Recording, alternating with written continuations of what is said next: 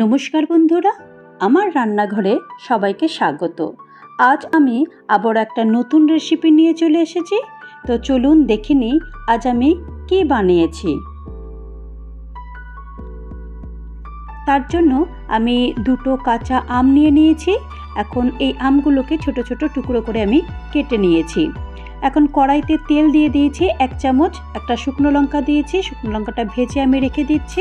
এখন এক চামচ আমি পাঁচ ফোড়ন দিয়েছি, সাথে কাঁচা আম দিলাম, সাথে নুন দিলাম, একটু হালকা নেড়ে চেড়ে নিলাম। এখন সামান্য হলুদ দিলাম, হলুদ দিয়েও আমি হালকা ভেজে নিচ্ছি।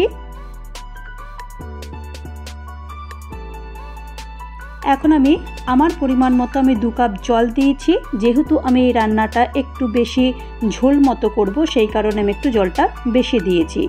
এখন আমি হাফ কাপ চিনি দিয়ে দিয়েছি। আপনারা আপনাদের প্রয়োজন মতো মিষ্টি খাবেন, যেরকম সেরকম আপনারা চিনি দেবেন। আমি এখন ঢাকনা বন্ধ করে দিলাম পাঁচ থেকে ছ মিনিটের জন্য। ঢাকনা খুলে দেখছি যে আমগুলো সেদ্ধ হয়ে গেছে কি না আমগুলো সেদ্ধ হতে বেশি সময় লাগবে না, কারণ এখনকার নতুন আম বেশি সেদ্ধ হতে লাগবে না। তো আমগুলো সেদ্ধ হয়ে গেছে। এখন আমি আমি পাঁচ ফোড়ন আমি ভেজে রেখে দিয়েছিলাম। সেটাকে ভালো করে আমি গুঁড়ো করে নিয়েছি।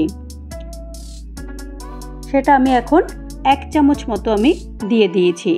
তো তৈরি আমার কাঁচা আমের টক তো এই রেসিপিটা যদি আপনাদের ভালো লাগে, তো প্লিজ একটা লাইক কমেন্ট শেয়ার করবেন আর আমার চ্যানেলটা প্লিজ সাবস্ক্রাইব করবেন।